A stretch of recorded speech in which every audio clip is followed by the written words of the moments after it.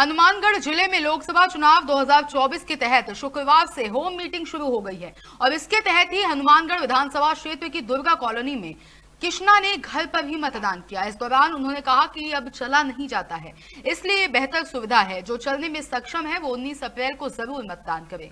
इसके तहत ही जिला निर्वाचन अधिकारी कानाराम ने होम वोटिंग के लिए पात्र मतदाताओं से मतदान करने की भी अपील की और उन्होंने कहा कि रूट चार्ट के अनुसार मतदान दल आपके घर पर आएँगे। इसमें गोपनीयता रखते हुए अपने मताधिकार का प्रयोग करें। हनुमानगढ़ से राजवतन पारिक की रिपोर्ट।